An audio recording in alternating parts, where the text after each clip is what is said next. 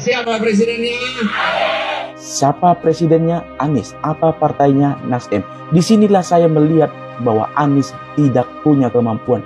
Bukan pemimpin yang pandai melangkai kata-kata. BTW penghargaannya banyak banget. Yang parkir air kemarin masuk penghargaan juga nggak? Negara mana? Siapa presidennya? Apa partainya? Apa partainya? Siapa presidennya? Bismillah, insya Allah Allah bukakan pintu-pintu saya untuk kita semua.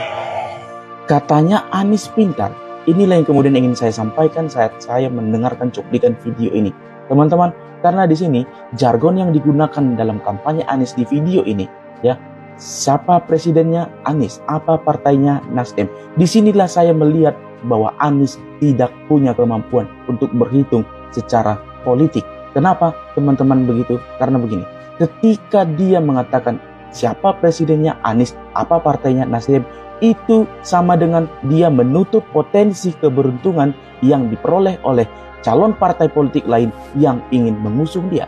Nah, menurut saya jadi partai politik lain itu mikir-mikir deh kalau mengusung Anies. Karena di sini dia sudah menutup potensi keuntungan yang bisa dimiliki atau diterima oleh partai lain yang ingin mengusungnya.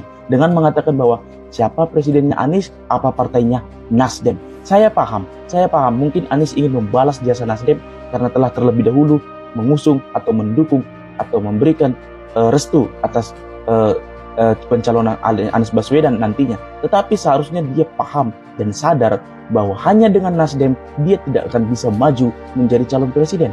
Lalu kemudian dia berani berkampanye seperti ini. Itu kan sekali lagi saya bilang, dia menutup kesempatan partai politik lain untuk memperoleh keuntungan dengan mencalonkan Anies Baswedan.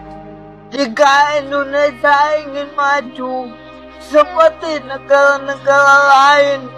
Jangan pilih pemimpin yang tidak bisa bekerja.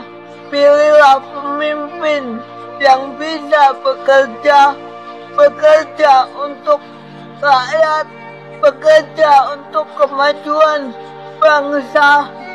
Bukan pemimpin yang pandai melangkai kata-kata, tapi sama sekali tidak bisa bekerja.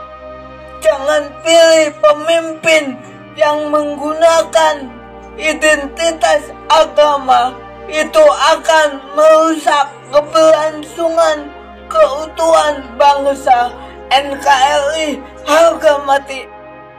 Serius nanya, emangnya dengan pamer penghargaan bisa membuat kita menangnya pres? Ingat, MU sekarang lagi no counter. BTW penghargaannya banyak banget. Yang parkir air kemarin masuk penghargaan juga nggak?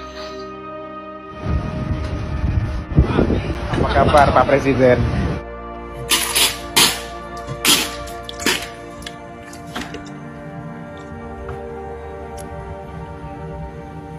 Negara mana?